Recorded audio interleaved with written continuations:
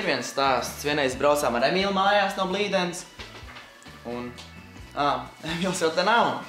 Un braucam un Monta mūsu priekš braucam. Mēs sakam Emīlam brauc ātrāk, jo jāapzina ir Monta.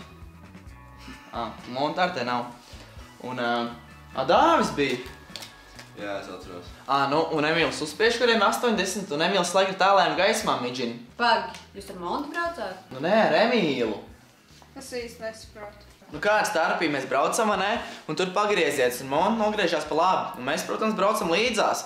Emīls jau uzspiež simts, ejam garām, un pēkšņi saprotam, a, kur mēs esam. Metam riņķī un braucam apakaļ.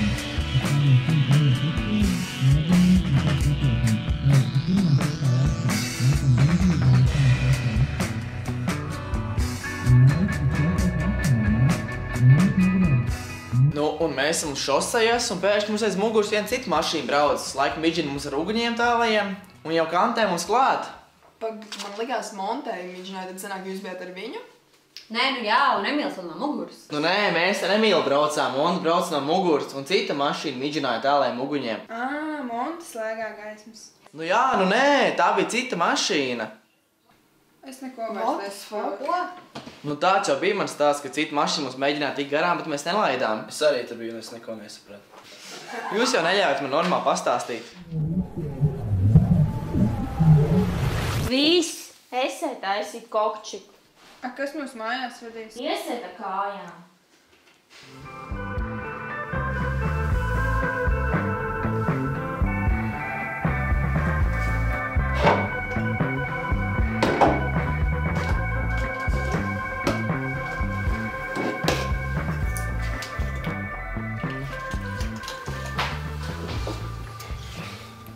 No koloniem.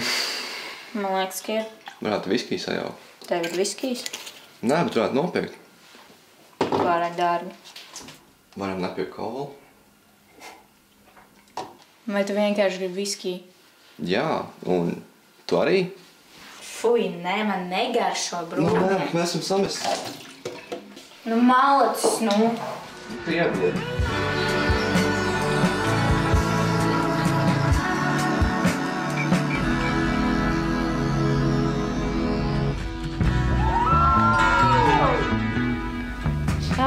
Nākamreiz ieliet man arī. Jā, bet bišķiņ pagājās tikko salājām.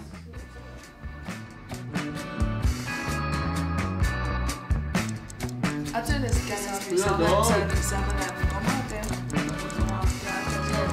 Viņš nebija lāts. Viņš nebija lāts.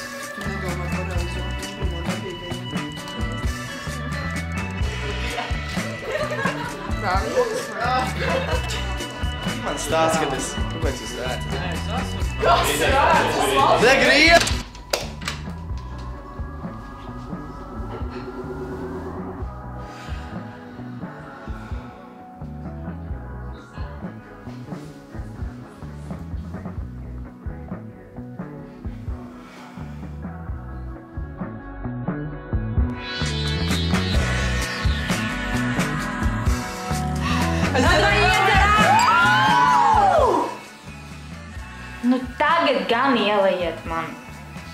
Vairs, šī bija pēdējā.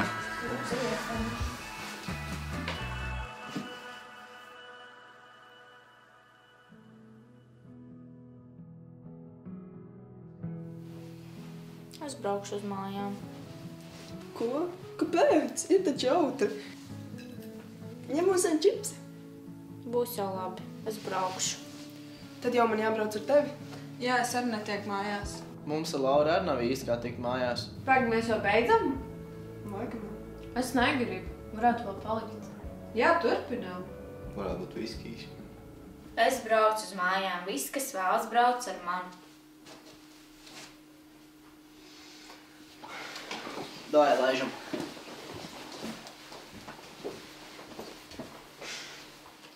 Nu, ko tagad? Man nav kaut kas stāv bāriņā. Viskijs? Dāvā izveries.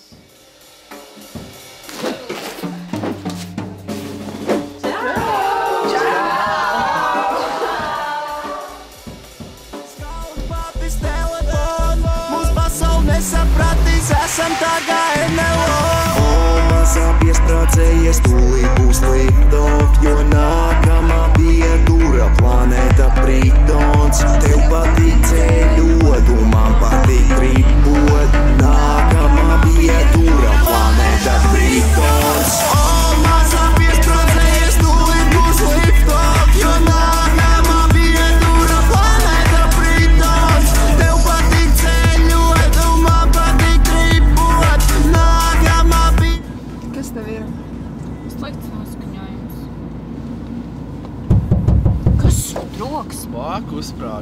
Ko tu mūli?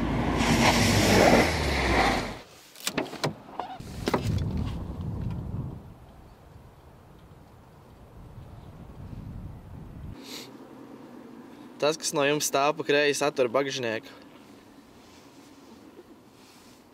Nu tāds asprāts. Jo, jo, jo! What the fuck, Rebe, ko tu dari manā mašīnā? Kā es stāvu laukā pie Megijas gaidu, ka griez no manas lejā, lai es tur savu skrūvi sadot. Ah, jā. Man bija augsti, un es paraustīju durvis, un viņas bija cieta, un tad es uh, atveru bagžnieku un tur iekāpu. Ak, mans dievs. Kāpēc tikai tagad bungājies? Es visu ceļu bungājos, jūs jau uzgriezuši mūziku, es viskaļāko nedzirdu. Tad, kad mēs kāpām mašīnā, mūzika neskanēja, un mēs to nedzirdējām. Nu, tad es nebungājos, jo es domāju, ka zālī grib apzakt mašīnu. Ak, dievs. Ko tu vispār? Tu aizmirsti, kas tev gaida lejā. Tev vēl ir tie kokčiki? Nu, es jau izdzēru. Viss. Es nevaru, es tūlīt kādu nostīšu. Elzbet, aizdzīsim mājās. Ejiet, dievs, tas nevienu nekur nevedīs šeit ar kājām! Ej, Elzbet, pagaidi. Uh, pasargājiet mašīnu.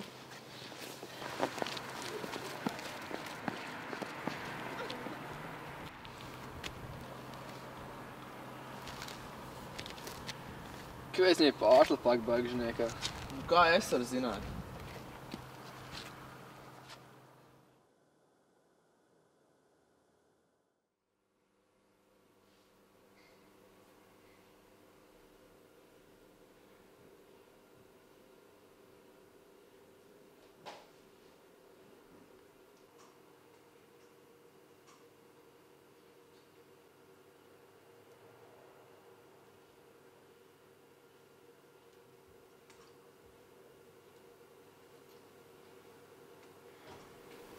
Kur tā Rebeka palikusi? Nezinu, teica, ka šeit zudīšu atkāpčiks un būs apakaļ. Mēs taču varam viņai pazvanīt. Nē, mēs attīrāmies no elektromagnetiskiem viļņiem, nekādu telefonu. Tad jau gaisma arī jāslēdz ārā. Nu, beidz, Elizabete, un ko tad mēs redzēsim, ko mēs darām, ja gaisma ir izslēgta? Bet mēs jau neko nedarām. Mēs gaidām Rebeku. Mēs varam kaut ko darīt arī bez Rebekas. Kā bez Rebekas? Tad vairs nebūs piecas dzīvojums, jo mēs būsim tikai četras. Un kā ar likumiem? Redziet, pats pirmais draudzens visu dara kopā. Mēs ļoti labi zinām likumus. Bet, Rēčel, mums bija deviņi gadi, kad mēs viņus sarakstījām. Varbūt šovakar varam viņus nolikt malā? Tam mums jābalso. Es balsoju par brīvu vakaru bez likumiem. Un es balsoju par vakaru, kur nedaudz ierobežo likumu. Es balsoju par likumiem. Marika? Kristiāna, ja tu balso pret likumiem, mēs varam arī kaut ko darīt, nevis tikai gaidīt Rebeku. Ok, es mainu balsojumu. Balsoju pret likumiem. Tas ir divi pret viens. Pret pusotru, vai ne? Rebeka vēl nav balsojusi. Pret šo vienkārši padarām kaut ko. Nu labi, bet neko lielu vai nozīmīgu. Un tas būtu.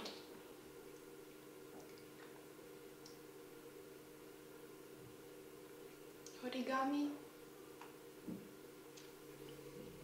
Jā, bet kas jau ir tikai sācies, gan jau mēs varam izdomāt ko labāku par origami. Es gribu sarkano, es taisu rozi. Tu taisi dzēru, priekš kam tev sarkano? Kāpēc dzērve nevar būt sarkana? Tāpēc, ka dzēras nav sarkanas. Un viņas nav arī Pakums strīdu izšķirošais vilciens attiek. Visi pārtrauciet savus strīdus. Vismaz otrais noteikums vēl tiek ievērots. Tātad, origami, kādi jautājumi? Jā, Marek? Kur ir Rebeka? Un kad viņa būs? Elizabete! Viņa taču nav suns. Re, kur viņa ir?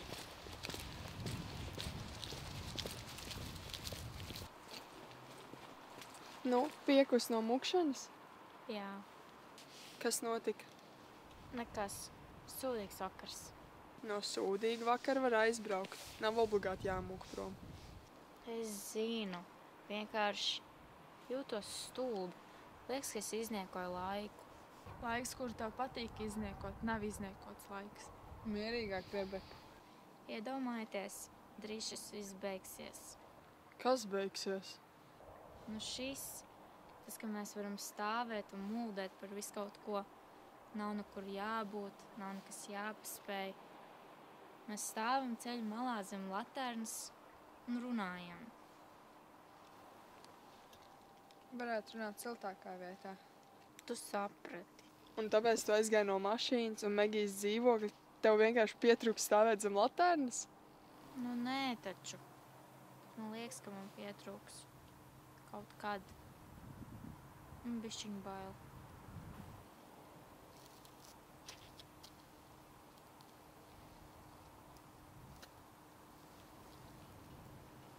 Nebija jau tā, ka balīti bija baigi labā.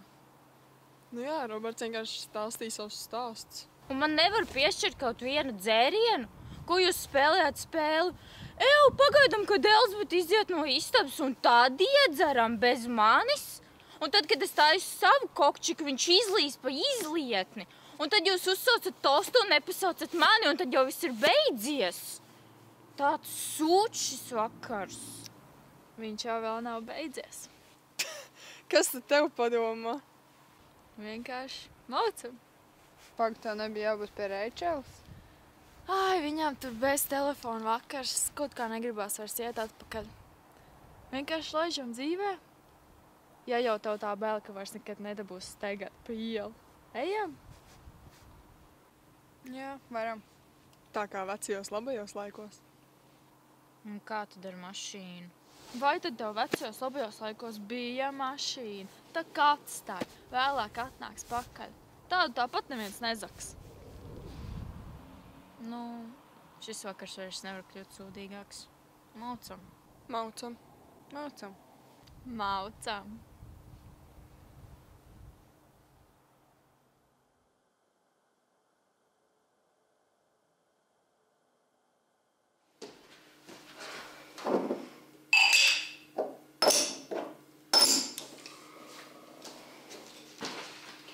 Sāk nākt miegs. Vai darām kaut ko? Mēs varam telzā pastīties.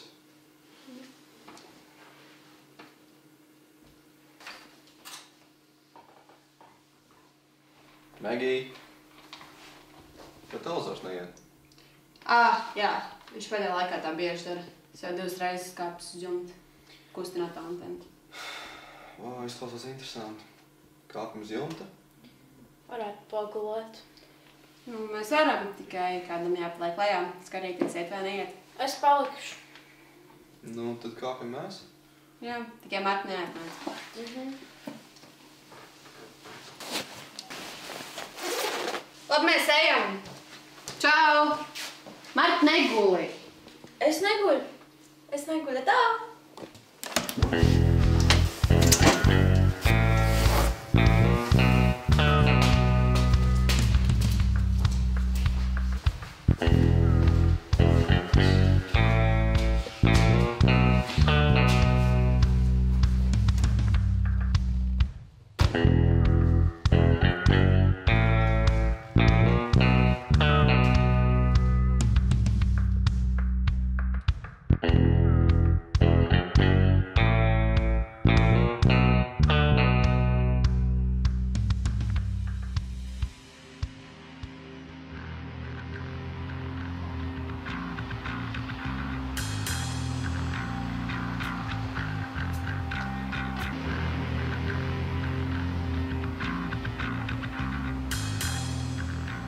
Turamies pie plāna.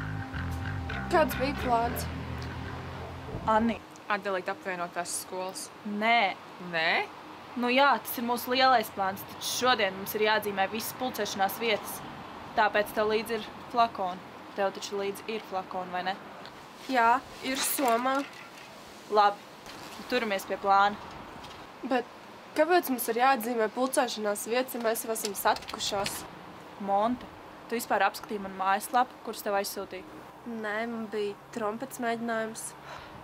Anni, Nu kā, mēs taču strietā nevaram izmainīt skolas sistēmu, vai ne? Nē, nevaram. Tieši tāpēc Kristi izveidoja mājaslapu, kurā var redzēt, kādi ir mūsu plāni un kā mēs to paveiksim. Un tā mēs iegūsim reāli daudz cilvēku mūsu pusē. Tu saproti? Ak. Tagad atzīmēsim pulcēšanās vietas. Atceries, sarkans aplis, zils krustiņš, zaļš trīsstūris. Ko katrs nozīmē? Nedomā par to, vēlāk paskatīsies. Gatavs?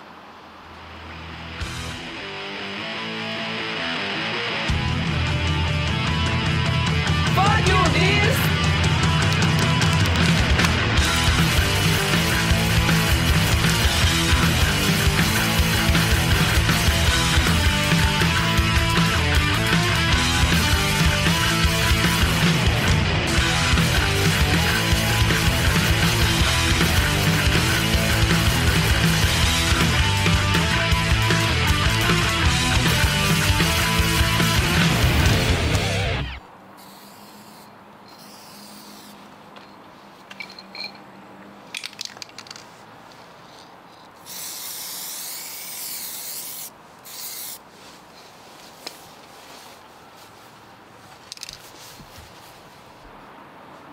laikam viss. Uzzīmē visi trīs. Jā, reku ir. Labi, tad ej.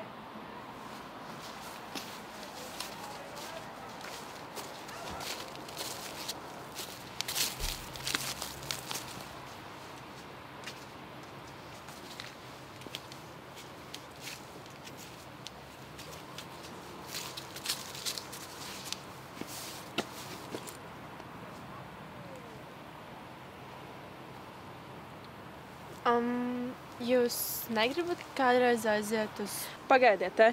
Man jāaiziet satikt viens cilvēks. Pieskat viņu. Okay.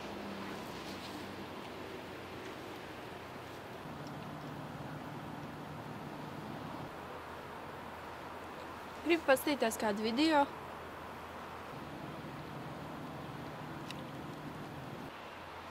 Laikam nē.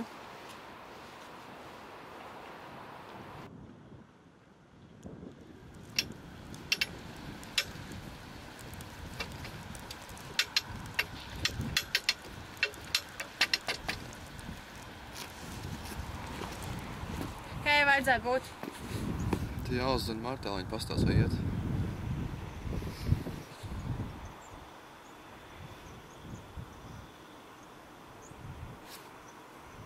Viņa ir aizmigusi. Martā! Es taču nedzirdēs. Telefons izslēdzās. Droši vien no augstuma. Labi, es nogājuši lejā, pastīšos, vai iet. Jā, ej. Tikai lūdzu neaizmirst. Jā.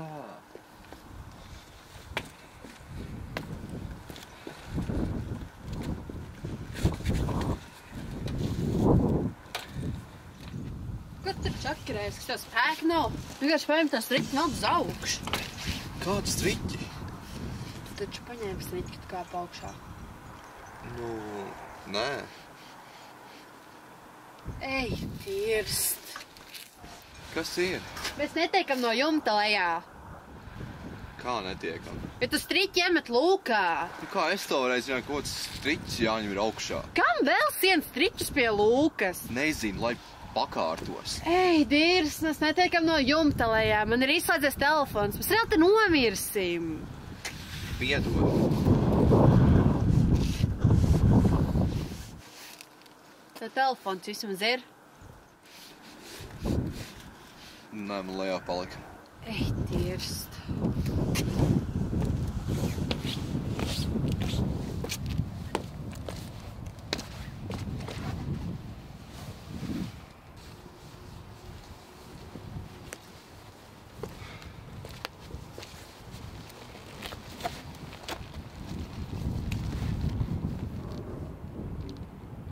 Mēs viņu nevaram kaut kā atlaust. Ar ko manu antenu? Labi, nevaram.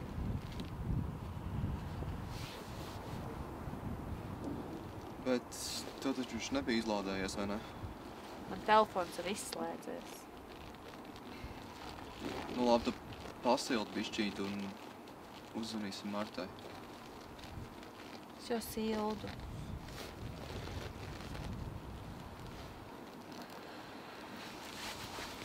Ir augsts. Jā, negribas te baigi ilgi palikt. Jā, negribas gan. Bet varētu būt trakāk. Vismaz mēs esam divatā. Divatā jautrāk. Paskatījos, kāds milīgs zaķīts. Nesen līdzīgi sabraucu.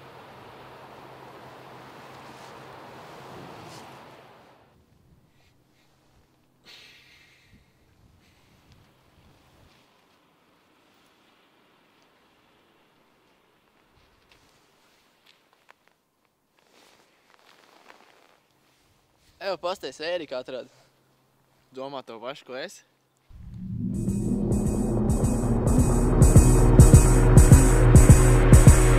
Bust down, Tatiana. Bust down, Tatiana. I wanna see you bust down. Pick it up, now break that shit down. Break it down. Speed it up, then slow that shit down on the gang. Slow it down. Bust it, bust down, bust it, bust it, bust down on the gang. Bust down, Tatiana. Bust down, Tatiana. I wanna see you bust down. Es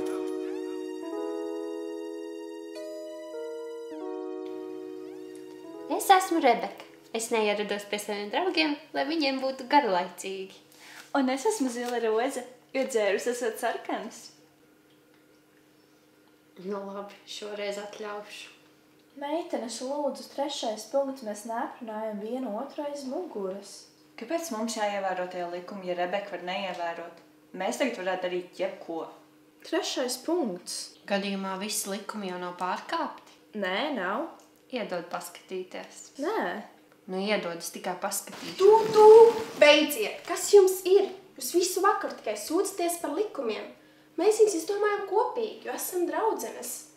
Atcerieties, pieci likumi piecām labākajām draudzenēm.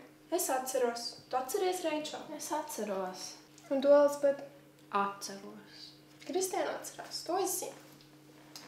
Labi, es eju izpildīt burkāns. Jūs nomierinieties.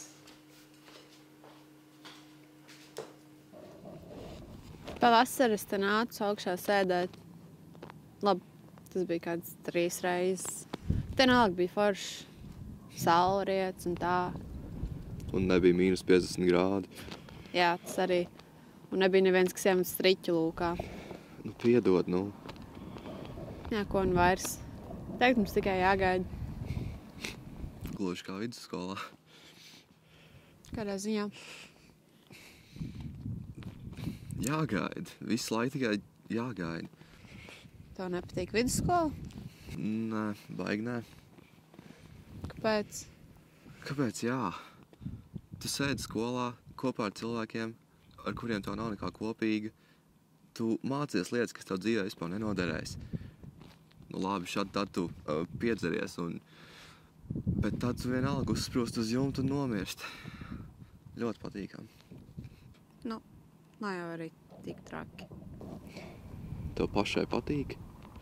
Vidusskola? Jā. Man īsti nav savas definīcijas vidusskolai. Ko tu pēc tam darīsi? Nezinu. Ja tiksim lejā, izdomāšu. Laikam gan.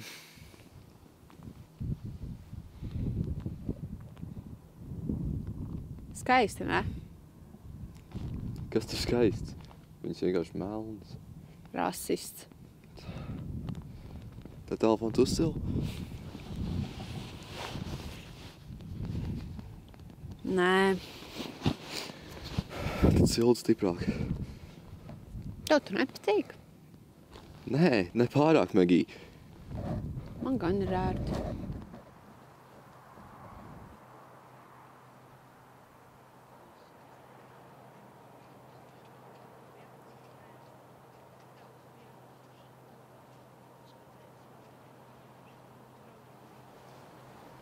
Teik paudzes sūdīgāk, ne? Jā, kādreiz bija trūpas. Tās, kuras bija viečurāts. Tikai vienu reizi. Vairāk. Viņas bija arī piekāpts. Nu, tad jau nav palicis sūdīgāk. Bet tās trūpas bija labāks. Šis litkauliņš galīgi garlaicīgs. Tu vēl šļūts pēc šās litkāniņa? Nē, bet nu, tā vienkārši izskatās. Ejam nošūkt? Nē, es nešļūku. Nu, kāpēc? Te jau neviena arī nav. Nu, zini, kā vienreiz bija. Es gribēju šūkt pa to dzelteno trubu, bet viens puisīts man pagrūda malā. Un tad es apvainojos. Un tad, kad viņš gribēja šļūkt pa to trubu, es viņu no visa spēka tur iegrūdu. Un izrādījās, ka tur ir piečurāts. Bet es taču teicu, tur ik pa brīdim tā ir. Nu, bet tas jau bija kādreiz. Gan jau, ka tagad tur vairs tā nav. Beigās tas bija pirms kādām divām nedēļām. Rebeka vienkārši maz puisīti iegrūda trubā piečurātā. Nē, beidziet. nu, pārgājis kumis. Ir labāk. Vienkārši cenšos par to nedomāt. Tā jau arī ir ar tām problēmām. Nedomā par viņām. Vienkārši aizmirst, un viņas pašas ar laiku pazudīs. Nu, kur vēl mēs kādreiz gājām?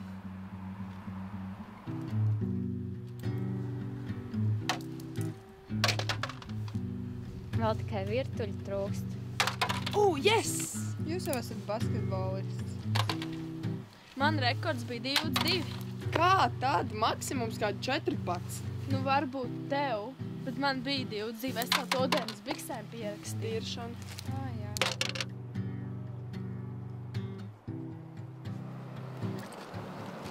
Mēs kādreiz veikalu prasīt gājām. Jā, bija jautri katru vakaru. Es dažreiz zagu. What the fuck?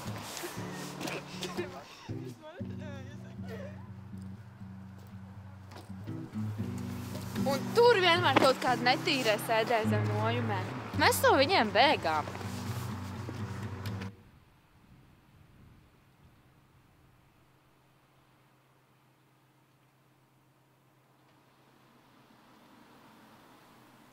Tie bija jautri laiki.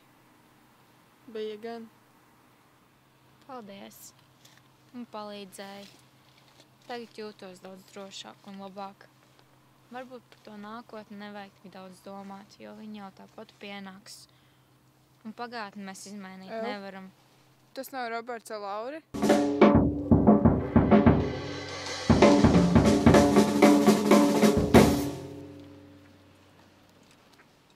Eju, paga.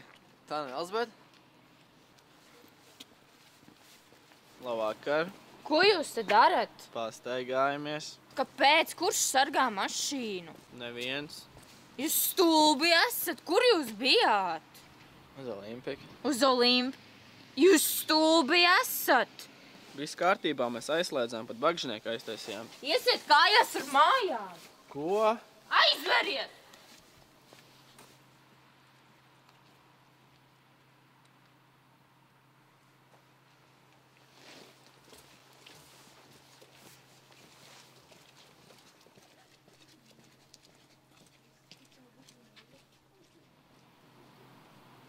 Kā mēs mājās tiksim? Jāsauc taks.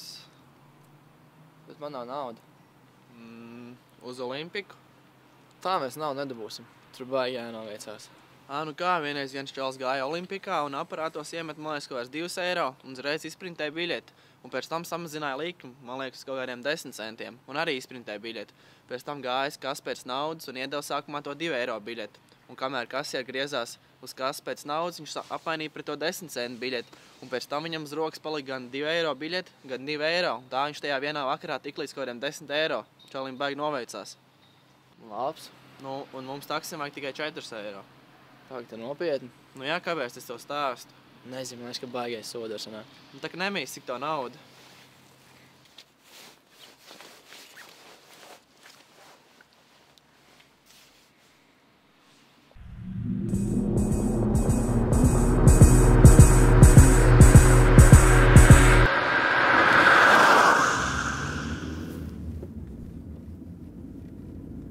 Paga, tu mums neved mājās? Nē.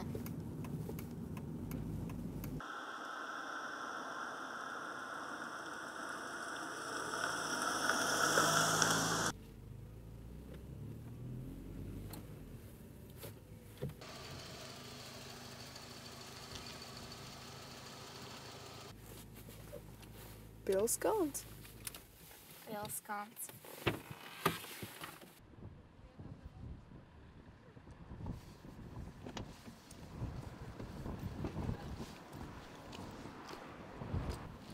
moškiņu laiks.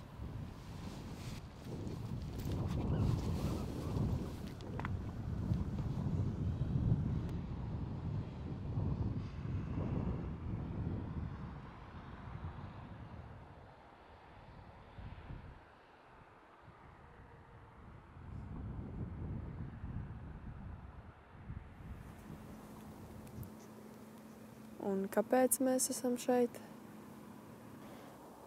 Vai atceraties, kā vasarā divos naktī pilsētā izdzies gaismas? Un liekas, ka visa pilsēta aiziet gulēt. Man patīk tā sajūta. Man liekas, mēs arī esam skrējuši, lai redzētu šo skatu. Jā, man nav nevienas sliktas atmiņas no pilskalna. Tāpēc mēs esam šeit.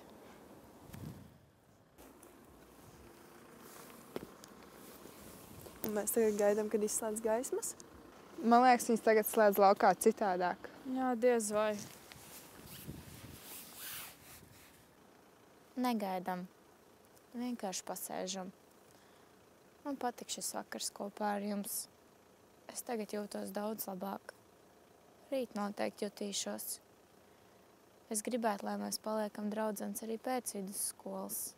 Mēs paliksim. Tad jau labi. Man gribas uzēst. Man bagažniekā ir pārslas. Ko? Aizej, paņem.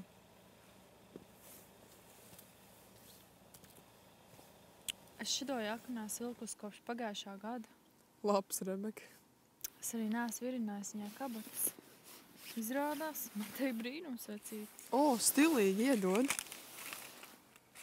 A, kā mēs viņus aizdedzināsim? Re, Grētā jau ir šķiltavs, viņa pīpē. Noteikti. Ew, bet man vispār ir līdzi. Es taču teicu, viņa tā pīpē. Veipo.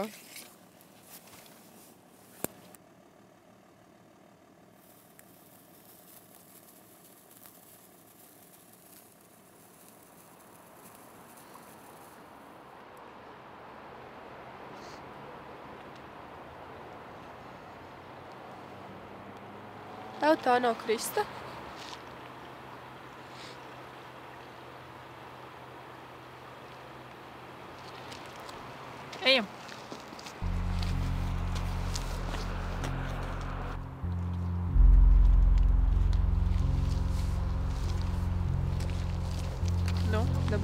Jā, viss ir.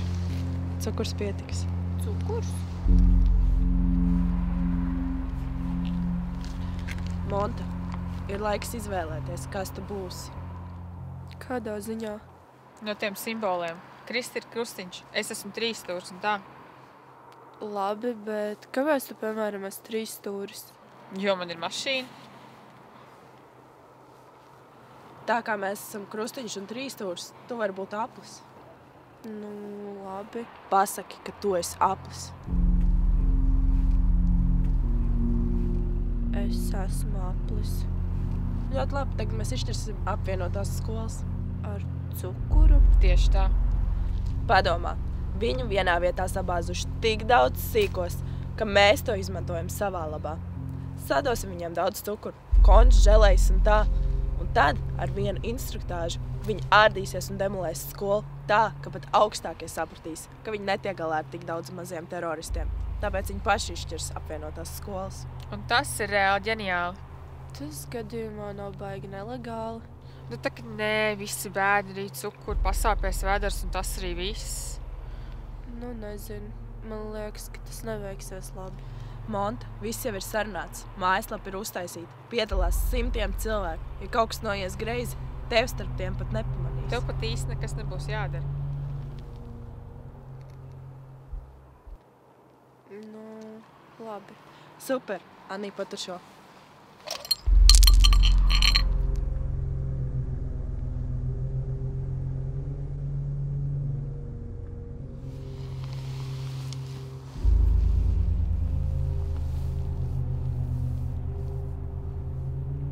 Mēs nedosim bērniem cukuru, vai ne?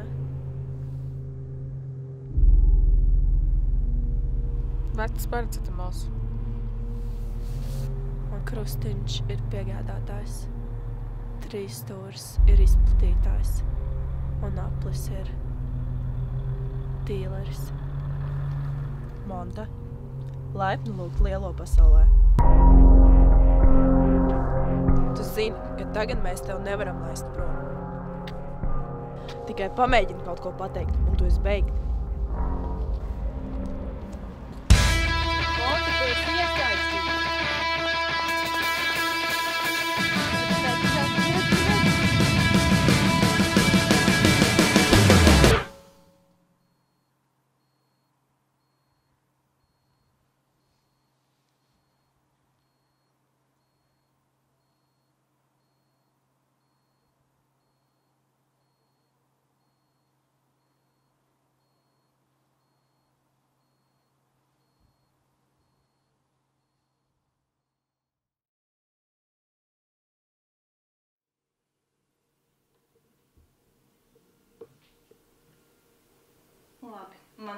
Beidzot izbēsīja.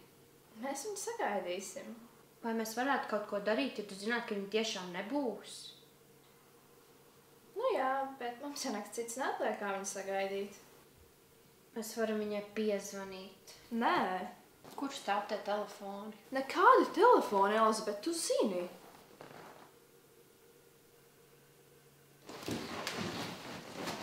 Elizabet, nu ko tu dari? Rečel, laid vaļā, vakars vēl ir tik jau! Noliec telefonu!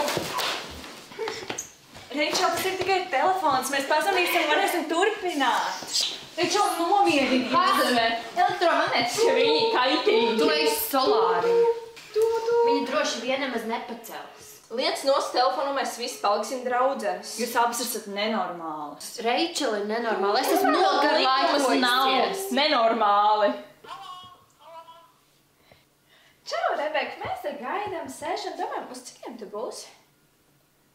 Nu, es nezinu, uz cikiem, bet es būšu bišķiņ vēlāk. Bet tad tu būsi, vai ne? Jā, bet uh, bišķiņ vēlāk. Jā, labi, tad mēs tev gaidām. Jā, labi, čau. Jā, atā. Es teicu, es teicu, un man bija taisnība. Jūs nevienam man neticējāt, bet man bija taisnība. Rečel, piektais punkts. Kāds piektais punkts? Nedrīkst otrai basējā to, ko tu teici. Es jau to nemaz tā neteicu. Tu pateici gan. Es zinu.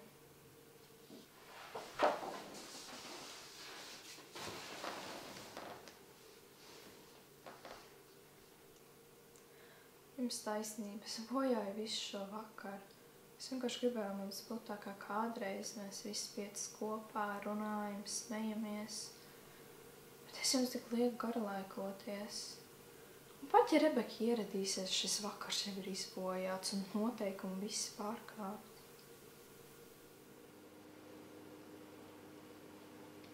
Rečel, nav jau tik traki. Mēs pavadījām laiku kopā. Tas arī ir svarīgi. Jā, un kas zina, kad būs nākamā reize, kad mēs atkal tiksimies? Burgāri bija labi. Rečel, kā būtu, ja mēs paturētu likumus? Bet viņi taču tagad ir nederīgi. Jā, bet mēs viņus sarakstījām trešajā klasē. Kopš tā laika esam mainījušās, bet vēl joprojām varam būt draudzenes. Varbūt izdomāsim jaunus likumus. Jā, labākus likumus. Jā, jauni likumi. Tas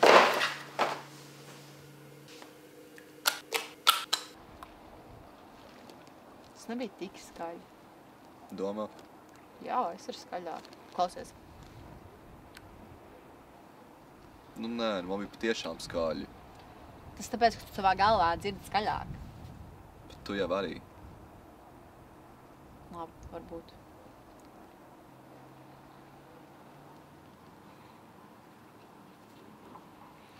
Kā domā, cik ātri mēs nomirsim? Ļoti pozitīvi dāvu. Es tev esmu teikusi, ka bez tevis es jau sen būšu šeit padavusies. Tiešām. Nē, dāvu, tas ļoti skumjš un taisīt lūku. Piedod. Viss kārtībā. Man netraucē. Vismaz var parunāties. Jā, par tādām jautrām tēmām kā uu, te ir augsts un uu, nākotne. Un, protams, vidusskola. Nu, beidz. Tehniski. Šis ir piedzīvojums. Es jūtos tik priecīgs šo piedzīvotams. Labi. Atmiņa, notikums, stāsts. Kaut kas cits. Tam jau šādi stulbi vakar ir domāti. Ko tu vēl tu darīsi? Tu esi iesprūdis jumta naktī. Bez telefona. Mums ir tikai laiks, kuru izniekot muļķīgās sarunās. Un tas pat nebūs izniekots, jo mums nekā cita nav. Es tev piekritīšu. Laikam priekš manis tā ir vidusskola. Vienkārši būt iesprūdušam laikā. Drīz viss ritēs citā tempā. Bet vēl ne. Tagad tu esi te. Un tu pavadi laiku. kā nekad dzīvē vairs nevarēs.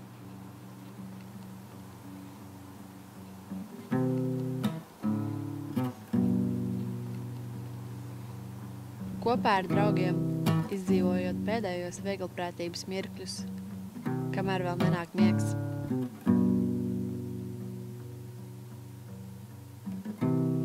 Domāt ar jaunu svaru, kas salauž bezjēdzību.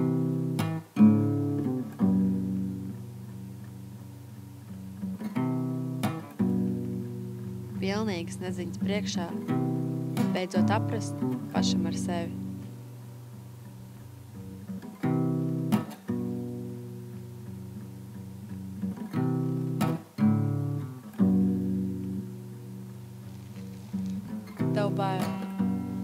Tu sapjūts, bet ļoti, ļoti brīvs. Un pirmo reizi uz debesīm var ne tikai skatīties, bet arī kaut ko iesākt ar tām. Tev tiešām patīk tās debesis. Jā, viņas nav tikai melnas, viņas mainās ik pa laikam. Un... Megij. Tām debesīm nav nevainas. Paldies!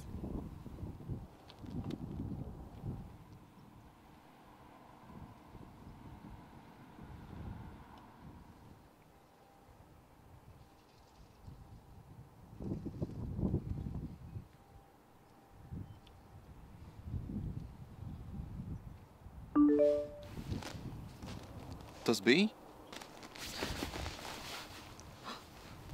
Taup, mēs nemirsim. Forši! Marta, Marta. Pacel.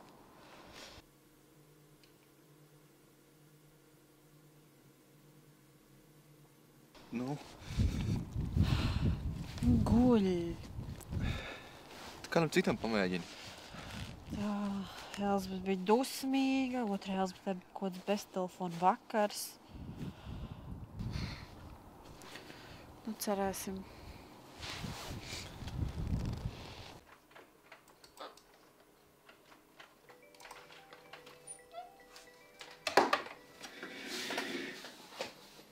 Halo! Emīl, mēs esam iesprūduši uz jumta. Var lūdzu atbraukt pakaļ? Ko? Mēs esam iesprūduši uz manas mājas jumta. Dāvis aiziet lūk, mēs netiekam lejā. Stulbais gavars. Var lūdzu atbraukt pakaļ? Easy, tūlīt būšu.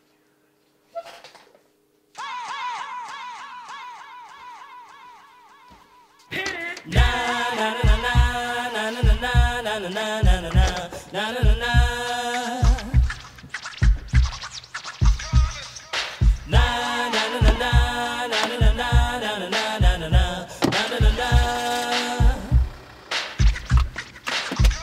come the hot stepper. I'm the lyrical gangster.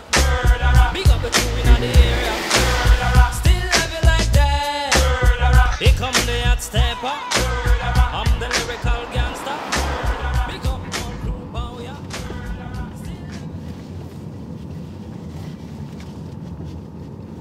Emīl, atbrauks mums pakaļ. Kas esat jūs un kur jūs esat? Mēs ar Lauru esam pie Olīša. Es pie Megijas braucu. Nu, atbrauc mums pakaļ, mums ir situācija. Ir. Es negribu. Mēs tev degvielā iedosim 3 eiro. Easy, tūlīt būšu.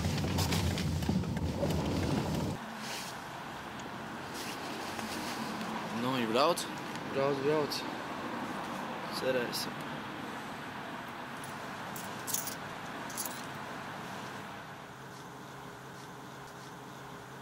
Ei, puiši! Jā, jūs divi. Es redzēju, kā jūs nošmaucāties ar biļetēm. Es to triku izdomāju. Skaidrs. Teikšu atklāti. Man šovakar neveicas. Esmu tukšā. Bet jūs esat vinējuši. Tā kā jūs esat manā teritorijā, izmantojat manu metodi, domāju, ka būtu tikai godīgi, ja jūs padalītos. Ko darām? Ignorē. Emīls tūlīt būs. Jums nevajag nepatikšanas. Atdodiet naudu, nekad nerādieties vairs šajā vietā, un jums nekas nenotiks. Ārā ir augsts. Es negribu iet jums pakaļ. Tāpēc es skaitīšu līdz trīs, pa desmit daļām. Jūs atdodat naudu tepat skaidrs. Viena desmitā, divas desmitās, Evo, viņi skaita. Taču nomierinies, mums vēl daudz laika ir. Emīls arī tūlīt būs. Man liekas, ka mums liekas atspērdīs. Viņi taču teica, ka viņai augsts, viņi nekur nenāks. astoņas desmitās, deviņas desmitās, viens. Viens un viena desmitā, Viņi jau ir tikuši līdz viens. Viens. Ē, labi ir, dod man to naudu. viens un trīs desmitās.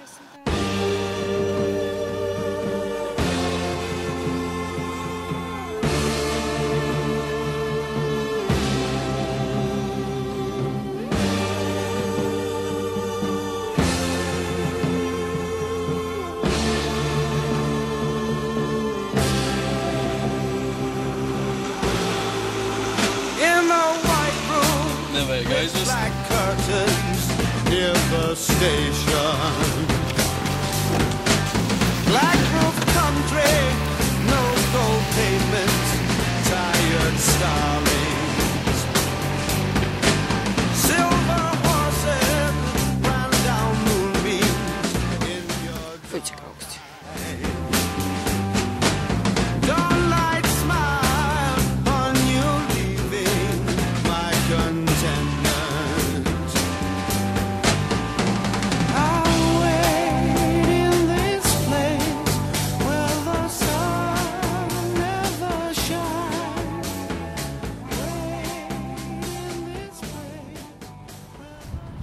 Tagad ir? Es tikko paskatījos. Un cik ir? Tikpat dāvā, viņš jau tūlīt būs.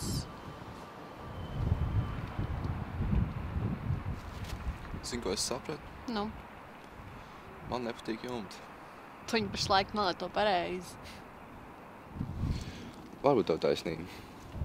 Vispār tā biežāk taisnība nekā es būtu domājis. Nu, ja mēs nebūtu uzsprūduši uz jumta. Paldies, dāvā. Un Un ar tevi pavadīt laiku ir daudz patīkamāk nekā es biju domājis, ja mēs nebūtu uzsprieduši uz jumta. Vau, komplimenti. Nezinu, varbūt man tomēr patīk jumti.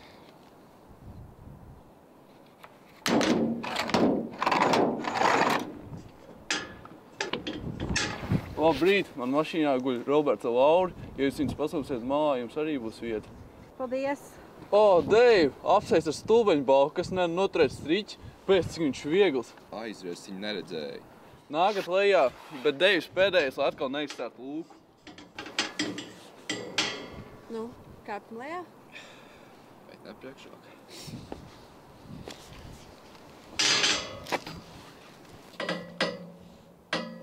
Man tiešām nepatīk vidusskola. Nē, Pat ne priekš stāstiem. Varbūt dažiem.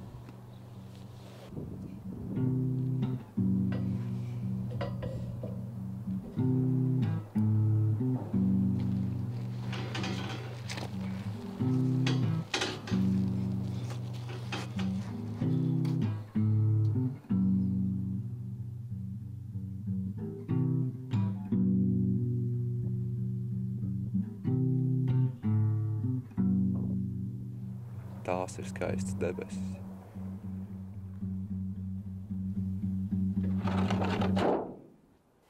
Es gribu lēkt, bet nezinu, kur pavedīs ceļš. Es gribu bēgt, jo nāksies sapņus plēst. Nesapratu, kurā visumā esmu iemests es. Kad ar logaritmiem man mācas sasiet kurpju šņores.